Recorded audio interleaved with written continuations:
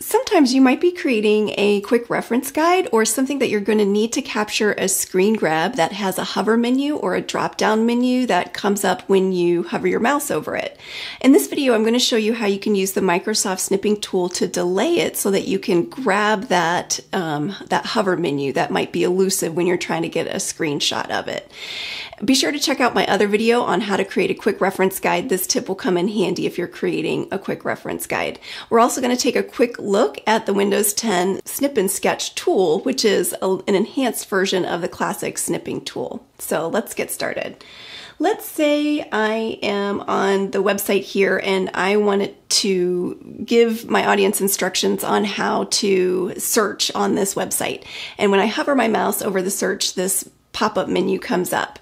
But when I go to use the snipping tool, which all I have to do is go down here to my search window, type in snip, and the snipping Microsoft snipping tool comes up.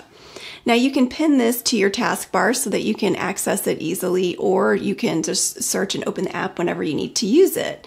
But you notice when you go click new, like you're gonna grab a screen grab, um, it will come up and you can't grab that that pop-up menu.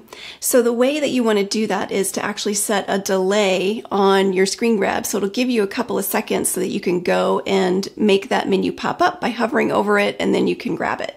So all we have to do is come up to delay on the snipping tool and say delay for three seconds and then click new. And then it's going to give me some time to come over here with my mouse and get that window to pop up. And now I can grab that screen grab with the hover menu that pops up.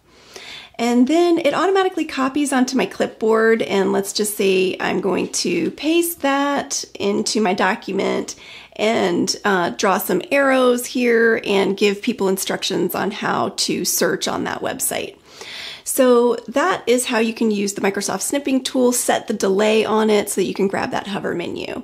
If you noticed in the snipping tool, when we clicked new, we saw a little message that popped up that said, hey, try Snip and Sketch, which is the new Windows Snip and Sketch tool.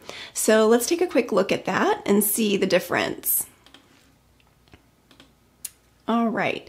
So the new Snip and Sketch, it looks a little bit different. It's it's a different menu that pops up. When you want to do a new sketch, you can drop down and you have the option to snip immediately, snip now, um, or give a three second or a 10 second delay. So you can set that option. And so if we use the new snippy, snip and sketch tool, uh, we'll delay for a few seconds and then your window comes up like this where you have the option to do a rectangular snip where you can draw with your mouse a rectangular box or you can do a free form snip and draw the area that you want to snip you can uh, click on that option and it'll take a picture of the window or you can do a full screen snip and if you click on that it'll do a snip of your entire screen. So then you can um, come into your word document and paste the new uh, snip of the entire your entire window.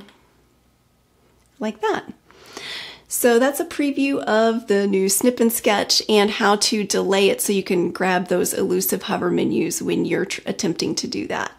If you found this video helpful, be sure and give it a thumbs up to like it. You can hit the subscribe button to subscribe to my channel and click the bell to receive a notification every time I post a new video. If you have any comments to share, be sure and leave them in the comment section below. Visit my website at sharonsmithhr.com. And thanks for all my viewers. I'll be sure and see you on my next video. Thanks.